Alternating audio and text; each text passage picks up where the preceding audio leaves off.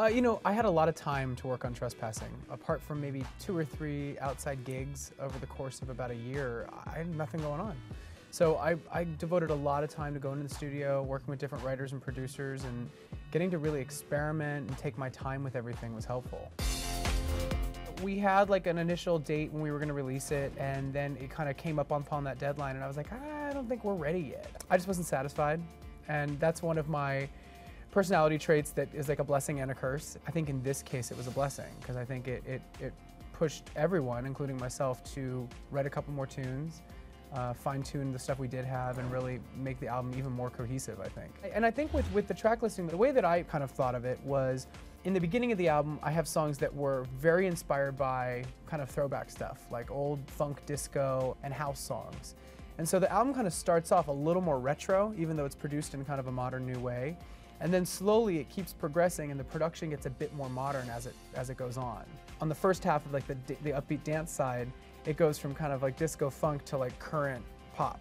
And then there's like a breaking point where all of a sudden we get into like uh, a slightly more emotional place and it gets a bit darker. So it, it follows this, this interesting arc in a way.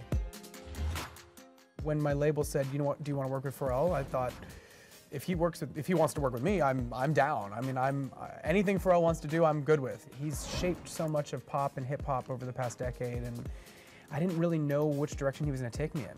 And when I got there, he played me uh, an idea, like a basic idea, which was the beginning of trespassing. And we sat and talked about the music industry and life. And I told him that in many ways, I still felt like I had something to prove or I had something to break into with the music industry. And so that's why we wrote Trespassing. It was about all of those things. And I think the result is this amazing, almost empowerment anthem.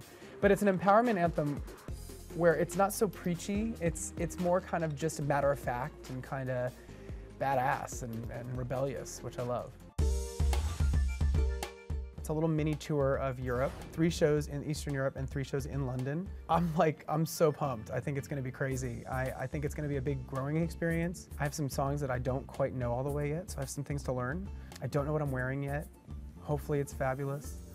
Uh, and I'm, I'm, just looking forward to pay tribute to great songs of Queen, to the legacy of Freddie Mercury. My goal for the evening is just to sing the out of the songs, you know, is, is to like just try to, you know, in, in listening to the recordings and looking at the songs, trying to understand what the intention was behind them. I mean, I think Freddie, one of the things that made him so brilliant is you, you always understood what he was trying to communicate by the way his voice sounded and the lyrics and his phrasing and his energy. And so I think my goal is to just try to communicate the same idea. So I'm gonna try to be myself up there, but pay respect in, in a tasteful way. One of my favorite Freddie Mercury performances is when, I think it was in Montreal, where he's barefoot in the shorts. And I'm just like, he's just wearing those little shorts up there and no shoes.